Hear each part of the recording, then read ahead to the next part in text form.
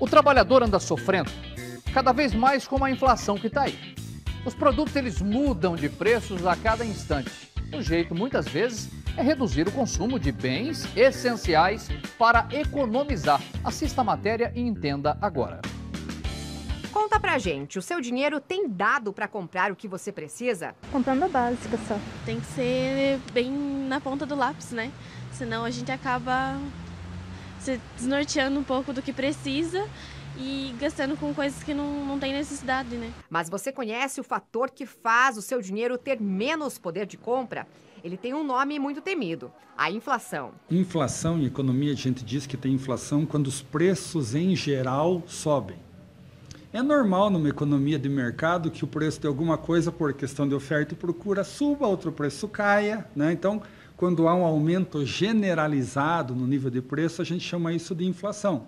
E quando há uma queda generalizada, a gente chama de deflação. Então, inflação é quando os preços em geral estão subindo. Segundo uma pesquisa divulgada pela Confederação Nacional de Indústria em parceria com o Instituto FSB Pesquisa, mostra que os brasileiros mudaram os hábitos de consumo. 64% dos entrevistados cortaram gastos desde o início do ano. 20% pegaram empréstimo ou fizeram dívidas nos últimos 12 meses. 34% atrasaram contas de luz ou água.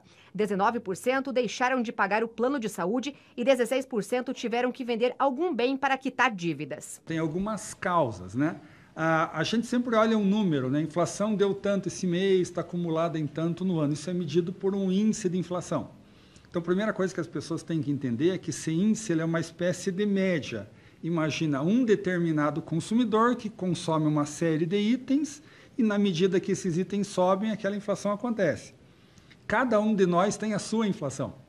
Porque, por exemplo, a inflação medida no IPCA leva em consideração o preço de passagem de metrô em São Paulo. É muito pouco provável que eu, você ou quem está nos assistindo faça uso cotidiano dessa passagem. Mas, digamos assim, se nenhum preço subisse na economia, subisse o preço do metrô em São Paulo, isso apareceria no índice de inflação geral. Ainda conforme a pesquisa, nos últimos seis meses, fazer a compra de alguns itens tem pesado mais no bolso. Veja os produtos que foram mencionados mais vezes pelos entrevistados. 68% dos brasileiros disseram que o gás de cozinha é um dos itens mais caros. Em seguida, vem o arroz e feijão, com 64%. Conta de luz, com 62%. Carne vermelha, com 61%. Frutas, verduras e legumes, com 61%. E os combustíveis aparecem em sexto lugar, com 57%. 7%. A situação para as famílias no curto prazo é bastante desafiadora, assim, tem que tomar esse cuidado para ter um orçamento cada vez mais regulado, né?